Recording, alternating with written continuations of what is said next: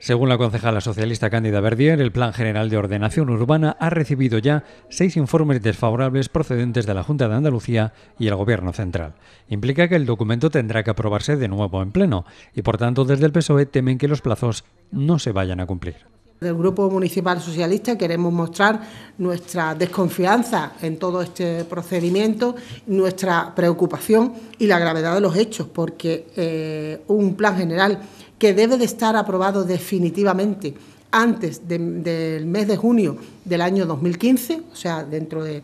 ocho meses, y mm, la aprobación inicial que se produjo en este año en febrero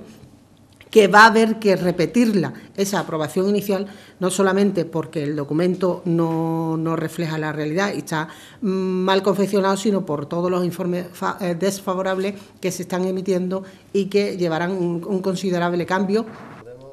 el pasado viernes, el portavoz socialista José María Román explicaba detalles de los informes emitidos por la Agencia de Puertos de Andalucía y las Consejerías de Cultura y Medio Ambiente. Hoy Verdier ha puesto el acento en los emitidos por el Ministerio de Fomento, Medio Ambiente y la Consejería de Vivienda. El primero por la clasificación como suelo urbano o no urbanizable de dos suelos de dominio público, dos carreteras en concreto. Según Verdier, la Consejería de Fomento y Vivienda ha emitido informe desfavorable debido a que el Plan General no indica cuándo se construirán las viviendas protegidas previstas. Y Costas, en palabras de Verdier, se carga la ronda oeste y que discurren algunos tramos por terrenos de dominio público marítimo terrestre.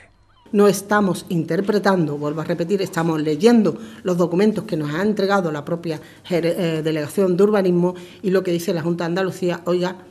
póngase las pilas, trabaje y corrija. Por eso estábamos muy preocupados y ayer lo decíamos y hoy lo repetimos, son ruedas de prensa muy serias porque estamos en la preocupación de que el Gobierno no ha estado con la debida diligencia vigilando el documento para que esto no hubiese ocurrido. Cándida Verdier ha comparecido en rueda de prensa junto a los ediles José Favela, Francisco Guerrero y José Luis Ruiz Piñero.